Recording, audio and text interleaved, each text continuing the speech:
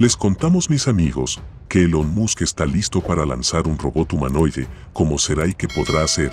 Por favor déjame tus comentarios a esta impactante noticia, muchas gracias.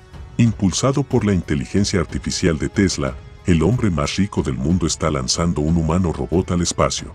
Amigos, la compañía espacial Space, propiedad de Elon Musk, ya tenía la atención de todo el mundo con el lanzamiento de Internet Starlink, medio por el cual se aseguró cerca de medio millón de clientes en 32 países en una misión para crear una constelación de satélites de telecomunicaciones. Sin embargo, el CEO de Tesla parece no tener límites con sus invenciones y sin ir más lejos está presentando el prototipo de un robot humano que presentará en el Día de la Inteligencia Artificial de Tesla a fines del tercer trimestre de 2022. Musk anunció el mes pasado el Tesla Inteligencia Artificial Day número 2 y que contaría con muchas actualizaciones interesantes para el 19 de agosto. Además, aseguró que Tesla podría tener un prototipo funcional del Tesla Bot, también conocido como Optimus, para el 30 de septiembre.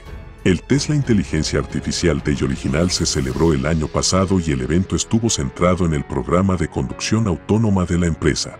El fabricante de automóviles también presentó su supercomputadora Dojo y anunció planes para el robot humanoide.